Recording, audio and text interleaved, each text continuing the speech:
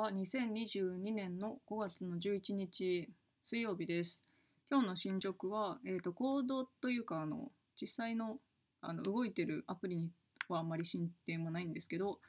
えー、とリントの設定とかをいろいろやってました。Introduce US ES リントこれに関していろいろやってました。えー、と今のところは、えー、とスリム用のリントとあのビューとあの JS ファイルをあのちゃんと見てくれる ES リント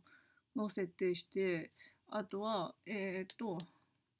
このアップの中、あ、違うわ、どこだ。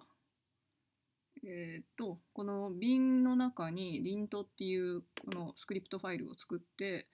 えっ、と、ロボコップと、えっ、と、スリムリント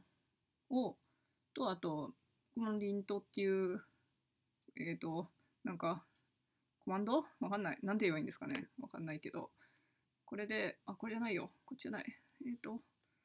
ッケージ JSON、こっちです。これを、で、えっ、と、ES リントが、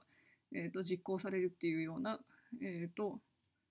ことをちょっと調べながらやってました。で今ちょっと、えなので、このビンリントで、えっ、と、このリントの書いたやつが全部実行されて、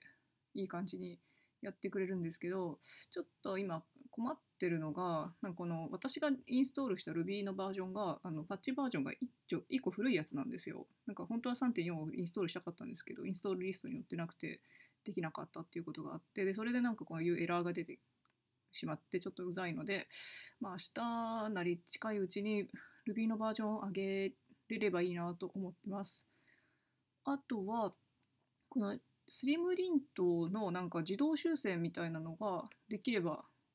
なんかその方がいいかなとも思ってます。